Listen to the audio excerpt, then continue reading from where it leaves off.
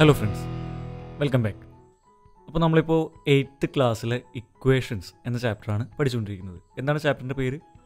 Equations എന്താണ് equations equations എന്ന് പറയുമ്പോൾ തന്നെ എന്താണ് നമ്മുടെ മൈൻഡിൽ വരുന്നത്? ഒരു ഈക്വൽ സൈൻ നമുക്കുണ്ടാവും. ഈ ഈക്വൽ സൈനിന് അപ്പുറത്തും ഇപ്പുറത്തായിട്ട് കുറച്ച് കാര്യങ്ങൾ എഴുതിയിട്ടുണ്ടാവും. ഇനി ഈക്വൽ സൈന്റെ അപ്പുറത്തും ഇപ്പുറത്ത് എഴുതുന്ന കാര്യങ്ങൾക്ക് എന്തൊരു പ്രത്യേകത? ഈ പ്രത്യേകത എന്താണെന്ന് വെച്ച് കഴിഞ്ഞാൽ ഈ ലെഫ്റ്റ് സൈഡിൽ എഴുതുന്ന എന്ത് കാര്യവും റൈറ്റ് സൈഡിനോട് എപ്പോഴും ഈക്വൽ ആയിരിക്കും.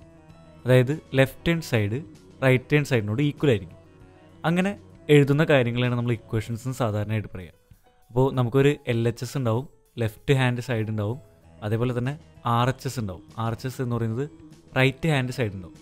ഇത് രണ്ടും എപ്പോഴും ഈക്വൽ ആയിരിക്കും. അപ്പോൾ അതാണ് നോർമലി ഒരു ഇക്വേഷൻ എന്ന് പറയുന്നത്.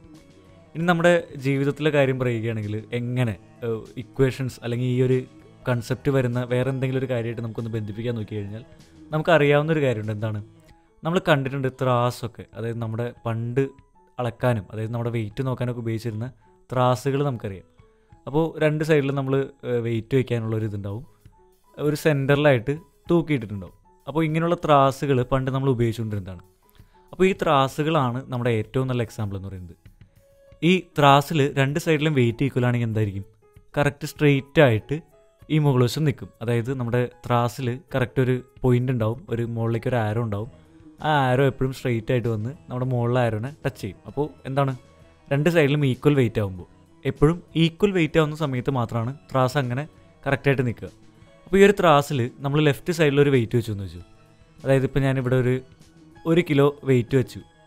ഒരു കിലോ വെയിറ്റ് ഈ ത്രാസിൽ വെച്ചു ലെഫ്റ്റ് സൈഡിൽ ഇനി റൈറ്റ് സൈഡും ഇതുപോലെ തന്നെ ഒരേപോലെ നിൽക്കണം അതായത് രണ്ടും ഒരേ ലെവലിൽ നിൽക്കണമെങ്കിൽ എന്ത് ചെയ്യണം?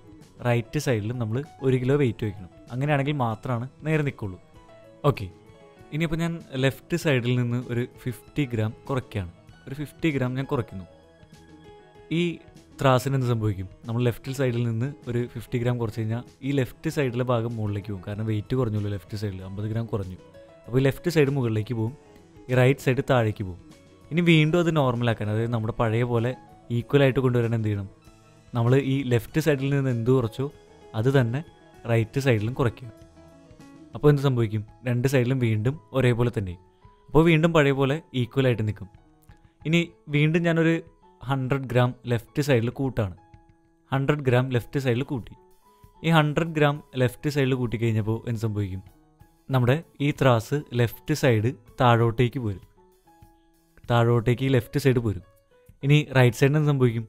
അതേപോലെ തന്നെ മുകളിലേക്കും പോകും. കാരണം ഇവിടെ നിന്നിട്ട് തിരിയാണ്. അപ്പോൾ ലെഫ്റ്റ് സൈഡ് താഴേക്ക് വെയിറ്റ് കൂടിയതുകൊണ്ട് ലെഫ്റ്റ് സൈഡ് താഴേക്കും റൈറ്റ് സൈഡിൽ മുകളിലേക്കും പോകും. അപ്പോൾ നമുക്ക് എന്ത് ചെയ്യാൻ പറ്റും? നോർമൽ ആക്കണമെങ്കിൽ വീണ്ടും പഴയ പോലെ ആക്കണമെങ്കിൽ എന്ത് ചെയ്യണം? പഴയ പോലെ ആക്കണമെങ്കിൽ നമ്മൾ റൈറ്റ് സൈഡിലും ഒരു ഹൺഡ്രഡ് ഗ്രാം കൂട്ടി കൊടുക്കണം. അപ്പോൾ നോർമലായിട്ട് വന്ന് വീണ്ടും പഴയ പോലെ ഈക്വലായി നിൽക്കും.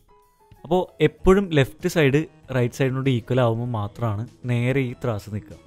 അതുപോലെ തന്നെയാണ് നമ്മുടെ ഇക്വേഷൻസ് ഇക്വേഷൻസ് എപ്പോഴും ലെഫ്റ്റ് സൈഡ് റൈറ്റ് സൈഡിനോട് ഈക്വൽ ആയിരിക്കും. നമ്മളൊരു ഈക്വൽ സൈൻ ഇട്ടിട്ടുണ്ടെങ്കിൽ ലെഫ്റ്റ് സൈഡിൽ എന്ത് കാര്യം എഴുതിയാലും എന്തായിരിക്കും?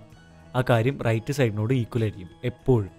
അപ്പോൾ ഈക്വൽ സൈൻ ഉണ്ടെങ്കിൽ നമ്മൾ ലെഫ്റ്റ് സൈഡും റൈറ്റ് സൈഡും ഈക്വൽ ആണ്. ഈക്വൽ സൈൻ ഇല്ല നോട്ട് ഈക്വൽ ടു ആണെങ്കിൽ മാത്രമാണ് ലെഫ്റ്റ് സൈഡ് റൈറ്റ് സൈഡിനോട് ഈക്വൽ അല്ലാണ്ടിരിക്കുന്നുള്ളൂ. അപ്പോൾ ഈക്വേഷൻസ് എന്ന് പറയുന്നത് ഇതുപോലെ ഈക്വൽ സൈനുള്ള ലെഫ്റ്റ് സൈഡും റൈറ്റ് സൈഡും ഉള്ള ആ രണ്ട് കാര്യങ്ങൾ ഈക്വൽ ആയിട്ടുള്ള കാര്യങ്ങളാണ് നമ്മൾ ഇക്വേഷൻസ് എന്ന് പറയുന്നത്. സിമ്പിളായിട്ട് ഇപ്പോൾ നമ്മൾ ഇത്രയും കൺസെപ്റ്റുകൾ പഠിച്ചു. നമ്മുടെ പ്രാക്ടിക്കലായിട്ടുള്ള കുറച്ച് കാര്യങ്ങൾ വെച്ചിട്ട് നമ്മൾ ഇത്രയും കൺസെപ്റ്റുകൾ ഇപ്പോൾ പഠിച്ചു കഴിഞ്ഞു. ഇനി മാത്സ് പഠിക്കുന്ന എല്ലാവരുടെയും പേടി സ്വപ്നമായിട്ടുള്ള ഒരു കാര്യമുണ്ട്. അത് ഈ ഒരു ചാപ്റ്ററിൽ നമ്മൾ വളരെ കാര്യമായിട്ട് ഉപയോഗിക്കുന്ന ഒരു സംഭവമാണ്. എന്താണെന്ന് വെച്ച് കഴിഞ്ഞാൽ എക്സ് എന്ന് പറയുന്ന വേരിയബിൾ ഈ എക്സ് എന്ന് പറയുന്ന വേരിയബിൾ പലരുടെയും ഉറക്കം കളയുന്ന ഒരു സാധനമാണ്. നമ്മളിപ്പോൾ പേടി സ്വപ്നം എന്നൊക്കെ പറയില്ലേ? അതുപോലുള്ള ഒരു സംഭവമാണ് മാത്സിലെ എക്സ് എന്ന് പറയുന്നത്. അതായത് സിമ്പിളായിട്ട് ഇതെന്താണെന്ന് മനസ്സിലാക്കി കഴിഞ്ഞ് കഴിഞ്ഞാൽ നമുക്ക് എവിടെ വേണമെങ്കിലും ഏറ്റവും എളുപ്പത്തിൽ പ്രയോഗിക്കുന്ന ഒരു കാര്യമാണ് ഈ എക്സ് എന്ന വേരിയബിൾസ് എന്ന കാര്യങ്ങൾ. അപ്പോൾ വേരിയബിൾസ് യൂസ് ചെയ്യുന്നത് എന്തിനാണ് എന്നുള്ള കാര്യങ്ങളൊക്കെ ഈ ഒരു ചാപ്റ്ററിൽ നമ്മൾ കൃത്യമായിട്ട് മനസ്സിലാക്കിയിരിക്കുന്നു. അപ്പോൾ എക്സിനെ കുറിച്ച് നമുക്കൊന്ന് നോക്കാം. ആദ്യമേ തന്നെ അതായത് ഒരു വാല്യൂ ഇപ്പോൾ നമുക്ക് അറിയാത്തൊരു വാല്യൂ ഇപ്പോൾ ഞാൻ സിമ്പിളായിട്ട് ഒരു എക്സാമ്പിൾ പറയുകയാണെങ്കിൽ എന്റെ ഏജിന്റെ കൂടെ ഒരു ഫോർ കൂടി ചേർത്ത് കഴിഞ്ഞ് കഴിഞ്ഞാൽ നമുക്ക് ട്വന്റി ഫൈവ് കിട്ടുമെന്ന് പറയാണ് അപ്പോൾ എന്റെ ഏജ് എത്രയാണ്? അങ്ങനെ ഒരു ചോദ്യം വന്നു കഴിഞ്ഞ് കഴിഞ്ഞാൽ ഒന്ന് നമുക്കതിനെ മാത്സിന്റെ ഓൾജിബ്രയുടെ ഭാഷയിലേക്ക് കൺവേർട്ട് ചെയ്യാം. ഓൾജിബ്രയിലേക്ക് എങ്ങനെ കൺവേർട്ട് ചെയ്യാം? എന്റെ ഏജിന്റെ കൂടെ. എന്റെ ഏജ് നിങ്ങൾക്കറിയോ? അപ്പോൾ എങ്ങനെ കണ്ടുപിടിക്കും? എന്റെ ഏജ് നിങ്ങൾക്ക് അറിയില്ല അപ്പോൾ അറിയാത്ത ഒരു വാല്യൂ അവിടെ വന്നു. അപ്പോൾ ഇങ്ങനെ അറിയാത്ത വാല്യൂസ് വരുന്ന സമയത്ത് അത് വെച്ചിട്ട് ആ അറിയാത്ത വാല്യൂസിനെ വെച്ച് കാൽക്കുലേഷൻസ് ചെയ്യണമെങ്കിൽ നമ്മളവിടെ ആ അറിയാത്ത വാല്യൂ എന്നുള്ളതിന് പകരമായിട്ട് നമ്മൾ എക്സ് എന്ന് എഴുതും. അപ്പോൾ വാല്യൂ അറിയാത്തൊരു കാര്യത്തെയാണ് നമ്മൾ എക്സ് എന്ന് പറയുന്നത്. അപ്പോൾ ഞാൻ എന്റെ ഏജിന് ഞാനപ്പോൾ എക്സ് ആയിട്ട് എടുക്കും. കാരണം എന്തുകൊണ്ടാണ്? എനിക്കതിന്റെ വാല്യൂ അറിയില്ല. എന്റെ ഏജ് എത്രയാണെന്ന് അറിയില്ല. അപ്പോൾ എന്റെ ഏജിന് നിങ്ങൾ ഒരു പ്രോബ്ലം സോൾവ് ചെയ്യുന്ന സമയത്ത് എന്തായിട്ട് എടുക്കും? എക്സ് ആയിട്ട് എടുക്കും. കാരണം എന്താണ്? ആ നിങ്ങൾക്ക് കറക്റ്റായിട്ട് അതിന്റെ വാല്യൂ അറിയില്ല. പക്ഷെ അറിയാവുന്ന ഒരു കാര്യമുണ്ട്. എന്താണ്? ആ എക്സിന്റെ കൂടെ നാല് കൂടി ചേർത്ത് കഴിഞ്ഞ് കഴിഞ്ഞാൽ ട്വന്റി ഫൈവ് കിട്ടും എന്ന് നിങ്ങൾക്കറിയാം. അതായത് എന്റെ ഏജിന്റെ കൂടെ നാല് കൂടെ കൂടെ കൂട്ടിക്കഴിഞ്ഞാൽ കഴിഞ്ഞാൽ നമുക്ക് എന്ത് കിട്ടും? ട്വന്റി ഫൈവ് കിട്ടും എന്നറിയാം. പക്ഷേ നമ്മുടെ ഏജിന്റെ വാല്യൂ അറിയില്ല. അതുകൊണ്ട് നമ്മൾ ഏജിന് എന്തായിട്ട് എടുത്തു? എക്സ് ആയിട്ട് എടുത്തു. അപ്പോൾ X plus four equal to twenty five എന്നൊരു ഇക്വേഷൻ നമുക്ക് കിട്ടി. ഇനി ഈ ഇക്വേഷൻ എങ്ങനെ സോൾവ് ചെയ്യാം എന്നുള്ളത് സിമ്പിളായിട്ട് പറയുകയാണെങ്കിൽ നമ്മൾ നേരത്തെ നമ്മുടെ കോമൺ ബാലൻസിനെ പറ്റി പറഞ്ഞു. അതായത് നമ്മുടെ പണ്ടത്തെ ത്രാസ് എന്ന് പറയും. വെയിറ്റ് നോക്കിക്കൊണ്ടിരുന്ന ത്രാസിനെ കുറിച്ച് പറഞ്ഞിരുന്നു. അപ്പോൾ ത്രാസിൽ പറഞ്ഞ കാര്യം എന്തായിരുന്നു? നമുക്കൊരു ത്രാസ് ഉണ്ടെങ്കിൽ ലെഫ്റ്റ് സൈഡും റൈറ്റ് സൈഡും ഉണ്ടാവും. അതിങ്ങനെ ഹാങ് ചെയ്തിട്ടുണ്ടാവും. ലെഫ്റ്റ് സൈഡിൽ ഒരു വെയിറ്റ് വെച്ചിട്ടുണ്ടാവും. റൈറ്റ് സൈഡിൽ ഒരു വെയിറ്റ് വെച്ചിട്ടുണ്ടാവും. ത്രാസ് നോർമൽ ആവുന്നത് എപ്പോഴാണ് അതായത് ത്രാസ് നേരെ നിൽക്കുന്ന സമയത്ത് എപ്പോഴാണ് അത് ലെഫ്റ്റ് സൈഡും റൈറ്റ് സൈഡും ഈക്വൽ ആവുന്ന സമയത്താണ് ത്രാസ് നേരെ നിൽക്കുക. അതായത് ഇപ്പോൾ ലെഫ്റ്റ് സൈഡിൽ നമ്മളൊരു അമ്പത് ഗ്രാം കൂട്ടി കഴിഞ്ഞ് കഴിഞ്ഞാൽ നമ്മൾ എന്ത് ചെയ്യണം? റൈറ്റ് സൈഡ് ഒരേപോലെ നിൽക്കാൻ വേണ്ടിയിട്ട് റൈറ്റ് സൈഡിലും അമ്പത് ഗ്രാം കൂട്ടണം. ഇനി ലെഫ്റ്റ് സൈഡിൽ അമ്പത് ഗ്രാം കുറച്ച് കഴിഞ്ഞപ്പോൾ നമ്മൾ റൈറ്റ് സൈഡ് നേരെ നിൽക്കാൻ എന്ത് ചെയ്യണം? റൈറ്റ് സൈഡിലും അമ്പത് ഗ്രാം കുറയ്ക്കണം. അപ്പോൾ ലെഫ്റ്റ് സൈഡിൽ നമ്മൾ എന്ത് ചെയ്യുന്നോ അത് തന്നെ റൈറ്റ് സൈഡിൽ ചെയ്താൽ മാത്രമാണ് നമ്മുടെ ത്രാസ് നേരെ നിൽക്കുള്ളൂ. അപ്പോൾ അങ്ങനെയുള്ള സാഹചര്യത്തിൽ നമ്മൾ അതേ സെയിം കാര്യം തന്നെ നമ്മുടെ ഈ ഒരു ഇക്വേഷൻസിൽ നമ്മൾ പ്രയോഗിക്കാൻ പോവാണ്. എങ്ങനെയാണ്? നമ്മൾ ലെഫ്റ്റ് സൈഡിൽ എന്ത് കുറയ്ക്കുകയോ കൂട്ടുകയോ ഡിവൈഡ് ചെയ്യോ മൾട്ടിപ്ലൈ ചെയ്യോ എന്ത് ലെഫ്റ്റ് സൈഡിൽ മൊത്തമായിട്ട് ചെയ്യുന്നു അത് തന്നെ റൈറ്റ് സൈഡിൽ നമ്മൾ ഈ ഒരു ഇക്വേഷനിൽ ചെയ്യാൻ പോവുകയാണ്. അപ്പോൾ നമുക്കൊന്ന് നോക്കാം. നമ്മൾ ലെഫ്റ്റ് സൈഡിൽ നമുക്കുള്ളത് നമുക്ക് കണ്ടുപിടിക്കേണ്ടത് എന്താണ്? നമുക്ക് കണ്ടുപിടിക്കേണ്ടത് എക്സ് ആണ്. എക്സിന്റെ വാല്യൂ ആണ്. അതായത് എന്റെ ഏജ് ആണ് കണ്ടുപിടിക്കേണ്ടത്. അപ്പോൾ എക്സിന്റെ വാല്യൂ ആണ് നമുക്ക് കണ്ടുപിടിക്കേണ്ടത്. നമുക്കറിയില്ല അതിന്റെ വാല്യൂ പക്ഷേ ഇങ്ങനൊരു റിലേഷൻ അതായത് ഇങ്ങനൊരു ബന്ധം നമുക്കറിയാം. അപ്പോൾ ഈ ഒരു ബന്ധം വെച്ചിട്ട് എക്സിന്റെ വാല്യൂ കണ്ടുപിടിക്കാൻ നമുക്ക് ചെയ്യാവുന്ന കാര്യം എന്താണെന്ന് വെച്ച് കഴിഞ്ഞാൽ നമുക്ക് ഈ എക്സ് പ്ലസ് ഫോർ ലെഫ്റ്റ് സൈഡിൽ എക്സ് ഒഴിച്ചുള്ള ബാക്കി എല്ലാ കാര്യങ്ങളും നമ്മൾ ഒഴിവാക്കണം. ലെഫ്റ്റ് സൈഡിൽ എക്സിനെ മാത്രം നിർത്തണം. അപ്പോൾ റൈറ്റ് സൈഡിലുള്ളത് എന്തായിരിക്കും? എക്സിന്റെ വാല്യൂ ആയിരിക്കും. അപ്പോൾ നമുക്ക് എക്സിനെ മാത്രം ലെഫ്റ്റ് സൈഡിൽ നിർത്താൻ വേണ്ടിയിട്ട് പിന്നെ എക്സ് അല്ലാതെ എന്താണ് ലെഫ്റ്റ് സൈഡിലുള്ളത് എക്സ് അല്ലാതെ ലെഫ്റ്റ് സൈഡിലുള്ളത് ഈ പ്ലസ് ഫോർ ആണ്. അപ്പോൾ പ്ലസ് ഫോറിനെ നമുക്ക് ലെഫ്റ്റ് സൈഡിൽ നിന്ന് ഒഴിവാക്കണം. കാരണം എക്സിനെ മാത്രം നിർത്തുമ്പോൾ എക്സിന്റെ വാല്യൂ റൈറ്റ് സൈഡിൽ വരും. അപ്പോൾ എന്ത് ചെയ്യാം? ലെഫ്റ്റ് സൈഡിൽ നിന്ന് നമുക്ക് ഒരു പ്ലസ് ഫോർ ഉള്ളത് കൊണ്ട് ഒരു മൈനസ് ഫോർ ചെയ്ത് കഴിഞ്ഞ് കഴിഞ്ഞാൽ ഈ ഫോർ ഇല്ലാതാവില്ലേ? ഈ ലെഫ്റ്റ് സൈഡിൽ നിന്ന് ഇല്ലാണ്ടാവില്ലേ? അപ്പോൾ ഞാൻ എന്ത് ചെയ്യുന്നു? എക്സ് പ്ലസ് ഫോറിൽ നിന്ന് ഒരു ഫോറ് കുറയ്ക്കുന്നു. ലെഫ്റ്റ് സൈഡിൽ നിന്ന് ഈ ലെഫ്റ്റ് സൈഡ് ഈ ഇക്വേഷന്റെ ലെഫ്റ്റ് സൈഡിൽ നിന്ന് ഒരു ഫോറ് കുറയ്ക്കുന്നു. അതാണ് ഇതാണ് ലെഫ്റ്റ് സൈഡ് അതായത് L H S left hand side എന്ന് പറയുന്നത് ഇതാണ്. അതിൽ നിന്ന് ഞാനൊരു ഫോറ് കുറയ്ക്കുന്നു.